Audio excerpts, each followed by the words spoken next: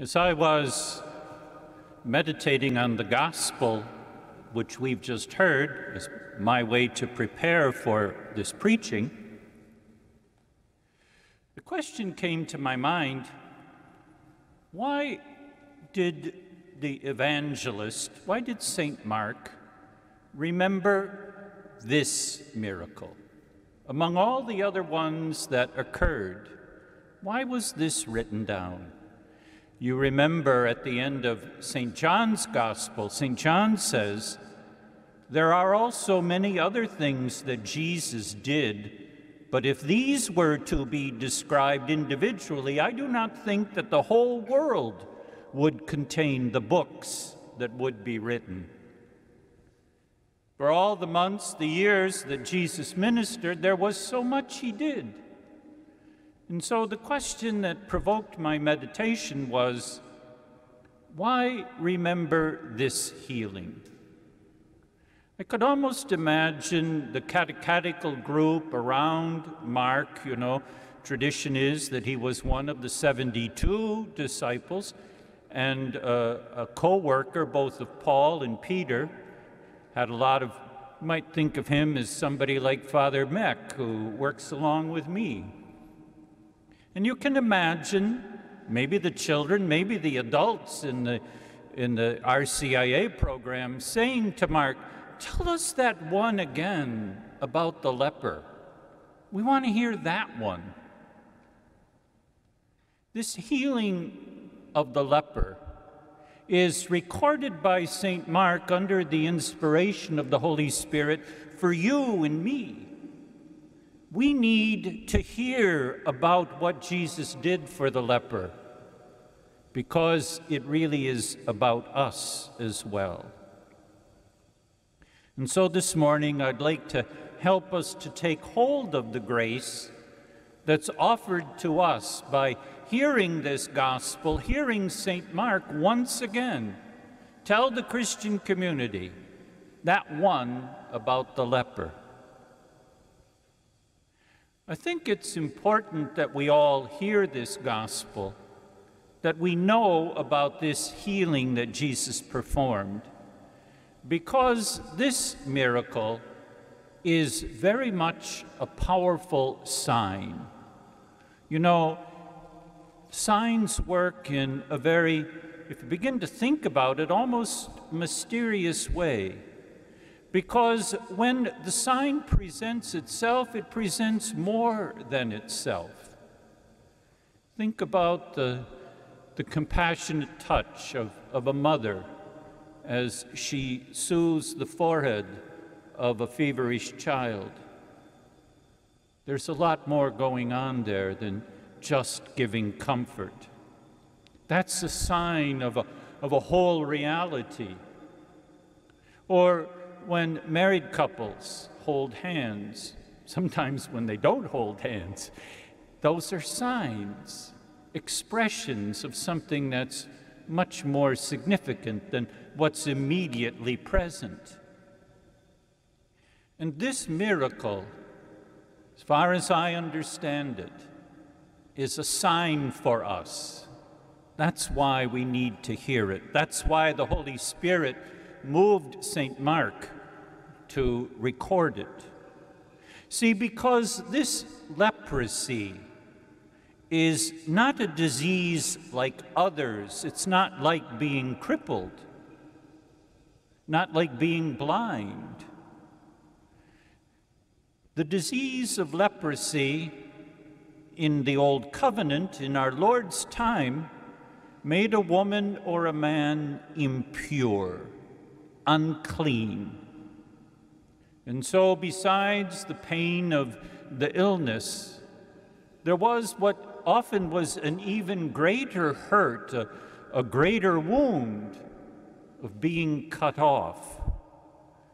Cut off from one's family, cut off from one's community, cut off from the whole people of Israel, and cut off from God Himself because the leper was not allowed to come and pray in the temple or in the synagogue. The temple, the leper was even isolated from God himself. And so, in this passage, leprosy is a sign of sinfulness. Not that the leper committed sin and was thereby punished, but in his, his state is a sign for the state of every sinner.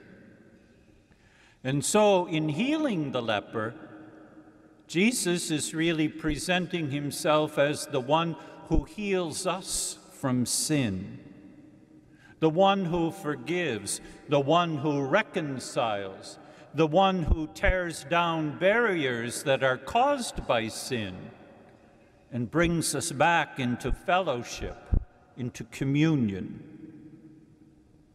He restores our communion by forgiving us because our sin separates us one from another. And he restores our communion with himself and his Father in the Holy Spirit. We are made fit to worship God, to receive his love, and to reciprocate with his love. And so the account of the healing of the leper is my story, and it's your story too. That's why we need to hear it. Because it's a word not about something just that happened way back then, it's a word about what's happening now in my life, in your life. The healing of our isolation caused by sin. And I think it's particularly providential that we should hear this gospel and meditate on it on this Sunday, which is just what, three days before Ash Wednesday. That time that begins Lent, that time in which we're renewed in our determination to let Jesus heal us of our sin, of our spiritual leprosy. I would suggest for you three themes that you and I might meditate on in the next few days in light of this gospel miracle. First of all, bring our sins to Jesus. Second, show our sins to Jesus. And third, entrust our sins to Jesus. Bring our sins to Jesus. We need to acknowledge that we can't heal ourselves of our sinfulness. There is about in our culture uh, a lot of themes about self improvement. If you just put yourself on that NordicTrack, you're going to become some super guy, superwoman. Sin doesn't work that way. We need the Lord Jesus. We can't heal ourselves. Second, we need to show our sinfulness to Jesus, just like the leper did. He came to Jesus and showed him this affliction. We need to honestly tell Jesus about our sin. Not that he doesn't know what it is, but part of renewal, part of repentance is to acknowledge what's really wrong. Perhaps my sinfulness is usually gossip. Simple one. Why do I gossip? What's at work? Do I not trust God? Do, do I feel it's important to hurt other people in order to build myself up? I mean, that's one small example. But each of us needs to look at her or his heart and identify what the leprosy is and where it comes from, and bring that honestly to Jesus in prayer. Not be afraid. Say to him, "This is what I this is what you get. You called me. Here I am. I got junk. I'll show it to you."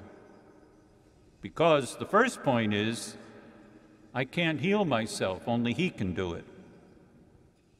And the third reflection is we have to entrust our sins to Jesus for healing.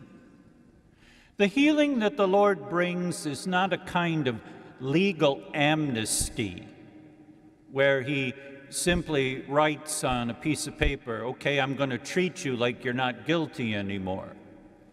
That's not how Jesus shows mercy. That's not how He heals. But the healing of Jesus, the gift of His mercy for our spiritual leprosy, is to change us to unleash in our hearts and minds the Holy Spirit who gets to the very root of our sinfulness. Perhaps it's pride, perhaps it's greed, perhaps it's a failure to trust Jesus completely. That's healed at the very root when we open ourselves to the power of grace, the power of the Spirit. And even more, here's the best part of the good news why Jesus is not just a Savior, but the true Savior. When we give our sinfulness over to Him, He changes it into something that will bring forth good fruit. A simple example. If in my sinfulness I, I present to Jesus my failure, one of the great fruits that comes from that is my humility. That's a blessing to be humble in front of Jesus and to be open to Him and to receive from Him what I need. God is glorified when we let Him heal us of our sin. We entrust to Jesus our sinfulness for healing because it makes everything better. And so, as we move forward to Ash Wednesday, I'd like to suggest two actions for all of you. First of all, when you come to Ash Wednesday, be ready to make an honest and realistic promise to repent. If you are blessed to be able to receive ashes on Ash Wednesday, or if you can't and you keep Ash Wednesday at home, think about these three themes that I have presented to you and make them part of your Lenten resolution.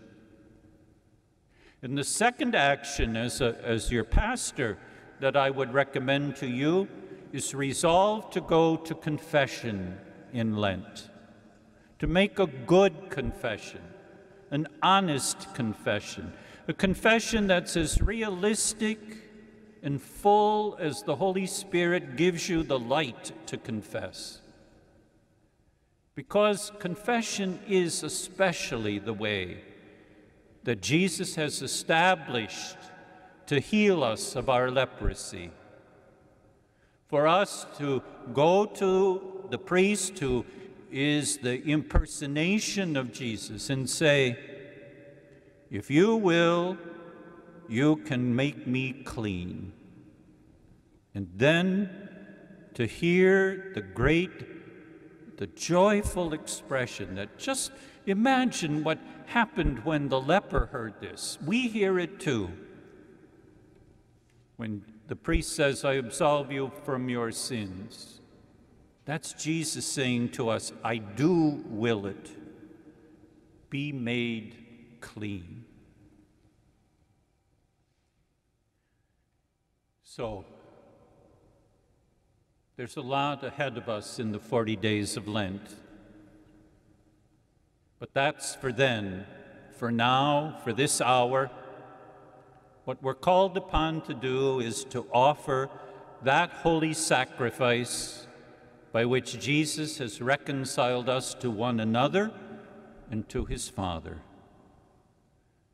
And to give God thanks that we're in recovery from our spiritual leprosy.